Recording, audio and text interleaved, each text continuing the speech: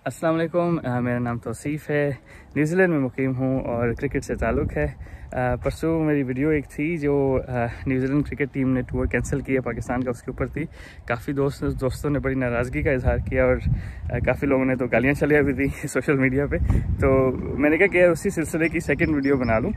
शायद क्या कहते हैं, कुछ चीज़ें खुल के बयान नहीं कर सका पहले वीडियो में। तो ज़रा थोड़ा सा खुल के बयान कर लूँ।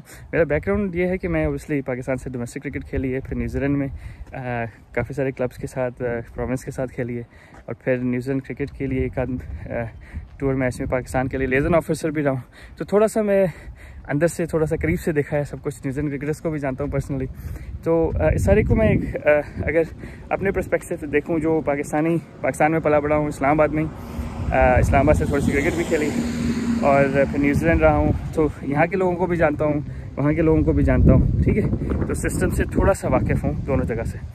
अच्छा अब जिस तरह आप सबको बताया कि जुलाई अगस्त में पॉलिटिकल सिचुएशन काफ़ी सारी चेंज हो गई थी ना आ, हमारे रीजन में ठीक है? उसकी जो भी वजह हो सकती है ज़ाहिर है कि तालिबान टेक ओवर कर रहे थे आ, और अभी तक क्योंकि वहाँ पे कोई हकूमत फॉर्म नहीं हुई है। अभी ताजिकिस्तान में हमारे सरबराह इमरान खान साहब भी गए हुए थे। कुछ आईएसआई वाले भी हेल्प आउट कर रहे हैं और बाकी सब कुछ भी कोशिश कर रहे हैं कि अफ़गानिस्तान में अमन हो और एक हकूमत बन जाए। तो इस सारे प्रोसेस में न्यूजीलैंड की टीम पाकिस्तान टूर कर रही थी। सही? और क्योंकि टूर पहले से डिसाइड था कि लंबा होना है। तीन ओ हैं, पाँच टी ट्वेंटीज़ हैं और तकरीबन चौबीस पच्चीस दिन उन्होंने रहना है ना उधर। तो अब मसला ये है कि मैं मैं अपने हिसाब से अगर देखता हूँ, क्योंकि ये ऑल उनको सिक्योरिटी क्लियरेंस मिल गई, लेकिन पाकिस्तान को थोड़ा सा सेंसिबल रहना चाहिए था इस सिचुएशन में। क्योंकि हमारे जो रीजन की अभी सूरत हाल है ना डे टू डे चेंज हो सकती है, बल्कि आवर टू आवर भी चेंज हो सकती है। ठीक है security alert will go up and down और हर कंट्री की अपनी अपनी इंटेलिजेंस होती है ज़ाहिर है। तो इस सारी चीज़ों को सामने रखते हुए मेरे ख्याल इतना लंबा टूर शायद नहीं कराना चाहिए था। अच्छा अब, क्योंकि टूर पहले डिसाइड हो गया था, ये ज़रूर कर सकते थे कि कुछ बहाना लगा देते कोविड का कह देते, कुछ भी कह देते। एटलीस्ट जो रावलपिंडी वाले मैचेस हैं ना, उनको स्क्रैप कर देते और सिर्फ़ पाँच टी ट्वेंटी करा देते। और आठ दिन में, दस दिन में ना, ये मैचेस कराते, दो दिन क्वारंटीन के तीन दिन मतलब within twelve days New Zealand team आती और चली जाती। अभी भी तो उन्होंने, मेरे ख्याल है कि ग्यारह को आए हैं और उन्नीस को गए तो आठ दिन तो अभी भी गुजारे मैच कोई नहीं खेला। तो एक तो ये रीज़न है कि टूर बहुत लंबा था और हमारी जो रीजन है ना, उसकी day to day situation different very करती है तो सिक्योरिटी अलर्ट जो भी आप समझ लें। अच्छा सेकेंडली ये कि अब ये लोग ठहरे थे इस्लामाबाद में ज़रा एक सरीना में ना। तो अब मसला ये है कि काफ़ी सारे जो फॉरनर जो अफ़गानिस्तान से वापस आ रहे हैं वो सरीना में ही ठहरे और वहीं से आगे जा रहे हैं। सिक्योरिटी अच्छी है जो कुछ भी आप समझ लें। लेकिन अगर जिस तरह अलर्ट लेवल अचानक बढ़ गया तो वो फॉरनर्स को अटैक करने का चांस था ना। और फॉरनर्स कहाँ ठहरे हुए हैं ज़्यादातर? जो आर्मी वाले हैं वो सारे उधर ठहरे हुए हैं। देखिए न्यूजीलैंड क्रिकेट की टीम कोई फ़ौज तो है नहीं। न्यूजीलैंड क्रिकेट टीम तो स्पोर्ट्समैन है। तो आर्मी वालों के लिए तो चलो ठीक है लेकिन इनके लिए क्यों उन, उनके साथ ठहराया? आई डोंट नो ठीक है? मेरे ख्याल इस्लामाबाद में शायद और ऑप्शन नहीं थी इतनी अच्छी। लेकिन अब आप ये देख लें कि जिन लोगों पे अटैक का बहुत हाई चांस है वो लोग उधर ही ठहरे हैं और ये लोग भी उधर ही ठहरे हैं। तो आ, शायद अगर रावलपिंडी को आप अवॉइड कर लेते तो बेहतर था। आ, या वन डेज़ कहीं और करा लेते कराची में करा लेते कहीं और करा लेते। लेकिन यहाँ कराना जो है ना वो आ, इस सिचुएशन में मेरा ख्याल है जो मेरी अंडरस्टैंडिंग है क्योंकि मैं पॉलिटिकल एनालिस्ट तो हूँ नहीं।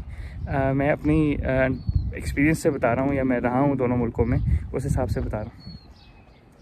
तो वो मेरा ख्याल है कि शायद अवॉइड किया जा सकता था ना? अगर या तो वन डे सीरीज़ को स्क्रैप कर देते या फिर कहीं और मूव कर देते। आ, लेकिन मैं पर्सनली कहता हूँ कि टूर को बारह बारह दिन से लंबा नहीं होना चाहिए था। आ, तो उससे ये होता कि आ, दो दिन तीन दिन क्वारंटीन किए पाँच टी ट्वेंटी कराए और उनको भेज दिया। ठीक है? तो मेरा ख्याल है कि थोड़ा सा पाकिस्तान की तरफ़ से एरर है।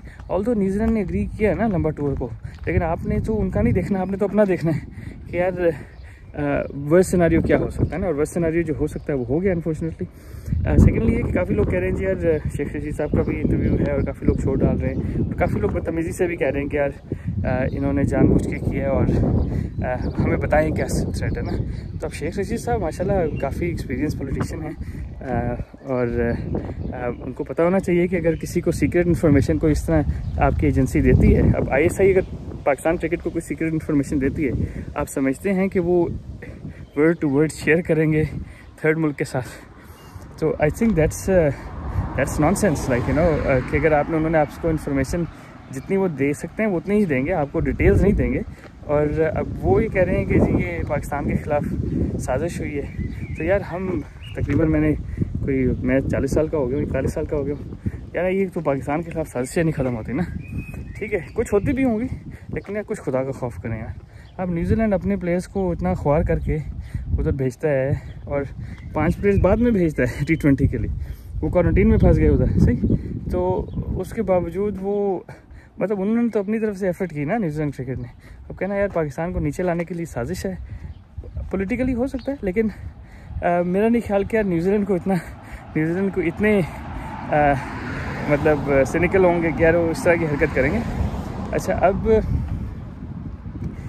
ओवरऑल ज़ाहिर है कि इससे पाकिस्तान को काफ़ी इम्पेक्ट होगा। और ये सीरीज़ इतना मसला नहीं था क्योंकि दस साल से हार्ड वर्क कर रहे हैं क्रिकेट वापस लाने में ना।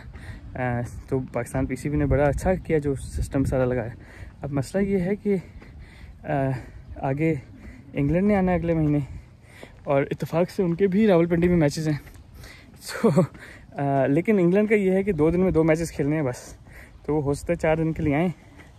और पाँचवें दिन, चौथे दिन ही वापस चले जाएँ। तो उनका टूर बहुत शॉर्ट है ना? जिस तरह मैं पहले बात कर रहा था कि न्यूजीलैंड का टूर शॉर्ट होता तो शायद चल जाता ना? तो उनका टूर शॉर्ट है तो होपफुली क्या कहते हैं इंग्लैंड को मसला नहीं होना चाहिए, उनको आना चाहिए। लेकिन खुदा ना खास्ता वो नहीं आते ना तो फिर मेरा नहीं ख्याल कोई चांस ऑस्ट्रेलिया आएगा। और फिर वो, वही रेस स्टार्ट हो जाएगी। पॉजिटिव चीज़ ये है कि पीएसएल बहुत सक्सेसफुल रही है और पीएसएल में ही मैचेस इन्होंने कराए हैं पहले। पाकिस्तान में। तो आई होप कि पाकिस्तान अपना स्टांस बड़ा फर्म रखेगा और टीम्स को इनक्रेज करेगा पाकिस्तान बुलाने में। लेकिन लॉजिस्टिक्स जो है ना वो उनकी पाकिस्तान को देखना चाहिए कि यार हमारे पॉलिटिकल हालात क्या हैं और इस रीजन की पॉलिटिकल हालात क्या हैं। उस हिसाब से जो सारा गेम है ना उस हिसाब से प्लीज़ करें। आ, मेरा ख्याल है कि ये थोड़ी सी पाकिस्तान से टेक्टिकल एरर था कि साढ़े तीन हफ़्ते चार हफ़्ते का टूर न्यूजीलैंड को करा रहे थे इन सिचुएशन में वेर अफ़गानिस्तान में अभी कोई पता नहीं किसकी हुकूमत है। ऑल तो तालिबान तो आ गए हैं, लेकिन अभी हुकूमत वो फॉर्म कर रहे हैं। ठीक है अनसर्टनिटी है, फिर उन्होंने ड्रोन स्ट्राइक में बच्चे मार दिए, जिसका उन्होंने उसी दिन वीडियो कर दी कि यार हमने गलती से मार दी। उन्होंने अपनी अपॉलोजी कर ली और साथ ही सिक्योरिटी अलर्ट लेवल बढ़ गया।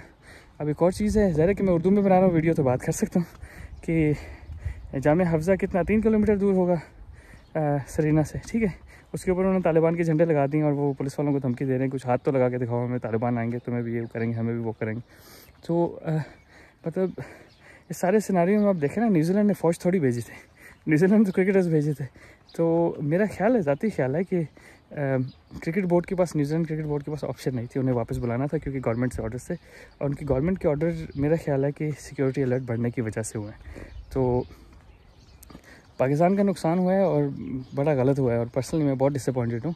लेकिन अगर आप ब्रॉडर पिक्चर को देखें तो मेरा ख्याल है कुछ कुछ चीज़ें अगर हम बेहतर करते हैं तो शायद ये अवॉइड हो सकता था ना। चलें इन घर मेरा तकरीबन आ गए तो वीडियोस हम बनाते रहेंगे। अपना ख्याल रखिएगा। अस्सलाम वालेकुम